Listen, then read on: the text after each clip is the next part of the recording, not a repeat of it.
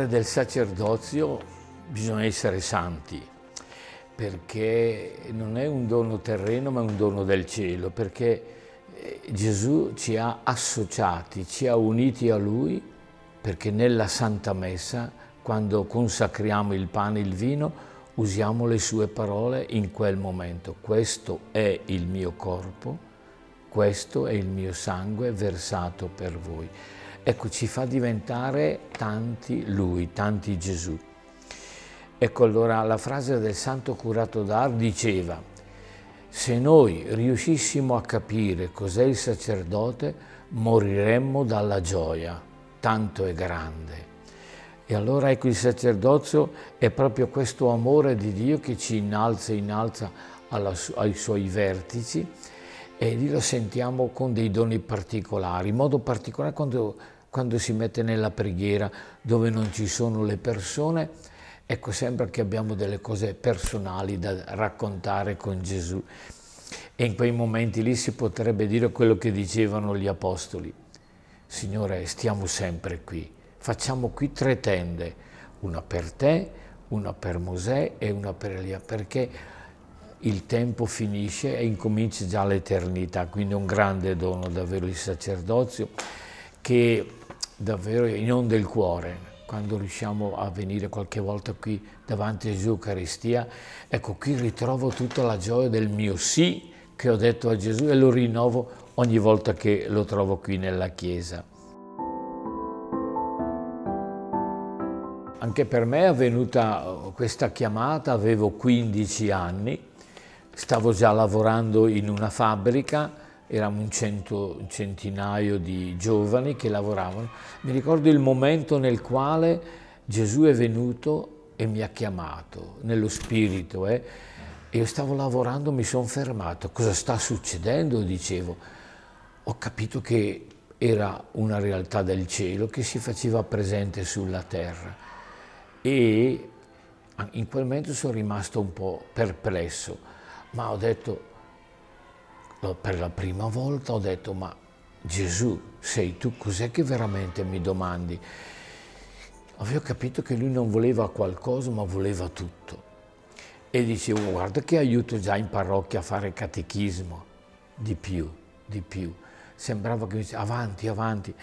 Poi è finito quel giorno, lui è ritornato ancora e quindi continuava da quel momento. Beh, da quell'incontro ho capito che la mia vita era osservata, era chiamata, c'era un disegno che partiva dal cielo e che me lo faceva conoscere. Però io avevo paura e mi ricordo che tre domeniche prima di fare la decisione non andavo a messa, non era mai successo, mai, però andavo alla chiesa e poi scappavo giù dall'altra parte, così mi passavano questi pensieri. Una volta, due volte, tre volte. Poi quando vedevo le persone che scendevano, allora andavo da mia mamma, perché era lei in casa, lei diceva, sei stato a messa? Mm, non volevo dire proprio la bugia. Ma poi ho sentito che stavo male a fare questi giochi con Gesù, ma molto male, dicevo, ma perché devo fare? Allora sono andato a parlare con il viceparroco della mia parrocchia per raccontare quello che stava succedendo dentro di me. E lui nel sentirmi si è messo a sorridere, ha detto, ma guardi che è una cosa bella e seria. Sì, sì, perché così è capitato anche a me. Allora mi ha, mi ha anche tranquillizzato e mi ha detto, guarda che io pregherò tanto per te, stai attento a tutto quello che lui ti dice. Quindi mi ha aiutato, ogni tanto tornavo, occorre in questo caso qualcuno che ti aiuti, che ti accompagni, che ti illumini su queste cose perché sono cose che non ci sono sulla terra, ma vengono giù dal cielo, vengono dall'alto. Quindi mi ricordo anche in quei momenti lì che non andavo più con i miei compagni. Prima ero io che animavo tutto il gruppo dei miei compagni, non mi piaceva più. E loro venivano a cercarmi e dicevano, ma stai mica bene, sei ammalato? Dicevo, no, ma non sei più quello di prima, e io non volevo dire cosa stava avvenendo, perché li conoscevo bene. E dopo un po' di tempo gli ho detto, guardate, vi racconto, sta succedendo qualcosa che anche per me è nuovo. E quindi ho detto, per me c'è di mezzo Gesù che mi sta preparando a qualcosa di grande che ancora non lo so.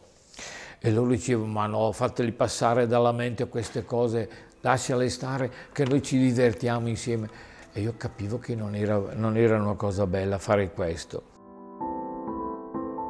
Avevo anche qualche problema a dire di sì a Gesù, perché? Perché nella mia famiglia ero l'unico che andava e prendeva la busta del lavoro.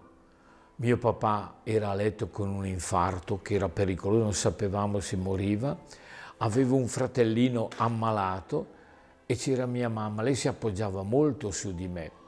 E una sera nel tornare con la bicicletta a casa dal lavoro, Ecco, mi ricordo che, che, dicevo dentro di me, stasera lo dico anche a mia mamma. E lei era là col mio fratellino ammalato che me l'ha dato in braccio, lei andava a preparare la cena e a un certo punto ha detto, mamma, io non lo so, ma sicuramente è Gesù che mi sta chiamando, come faccio? E lei mi ha detto delle parole che sono ancora scolpite e una donna di fede, guarda che a Gesù non si deve mai dire di no, ma solo bisogna dire sì. Che pace che mi hanno dato quelle parole di mia mamma, davvero. Poi è andata a fare la cena e io lì col mio fratello, che lo baciavo perché un angioletto ero, ma che bello, va, diglielo tu a Gesù là in paradiso, che sto per dirgli di sì davvero. E poi questa è l'altra parte. Poi bisognava a un certo punto andare avanti, allora il mio vice parroco mi ha detto andiamo a parlare con i superiori della diocesi in seminario, come si fa?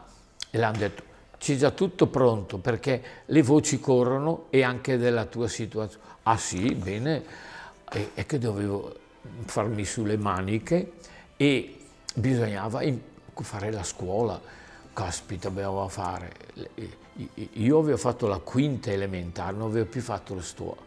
Avevo fatto prima, seconda, terza media in un anno. C'era un professore bravo anche durante l'estate, mi accompagnava. Poi, finito terza media, ho fatto la quarta e quinta ginnasio dove c'era latino, greco da imparare, ma mi aiutava il Signore. Io non ce l'avrei fatta se non c'era il. Quindi dovevo preparare e lo dicevo ogni tanto, Gesù guarda che questo lo faccio per te, a me non servono, ma servono a te. Quindi anche la scuola è andata. Poi sono entrato nella teologia e lì è stato un dono perché era tutta parola di Dio, da leggere, da riflettere, da approfondire. A volte mi fermavo eh, su alcune pagine e dicevo, che bella queste pagine, davvero. Gesù l'ha scritto duemila anni fa e queste parole sembrano di adesso, che mi stai parlando. Chi mi ama ascolta la mia parola, mi ricordo, e lì mi veniva in aiuto. Devo ascoltare la parola di Gesù.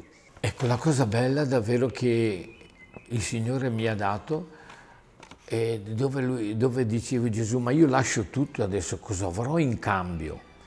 E lui, attraverso il detto, avrai cento volte tanto e la vita eterna. Gesù moltiplica cento volte quello che do e ho sentito che era, era bello. Non perdevo ma guadagnavo tutto.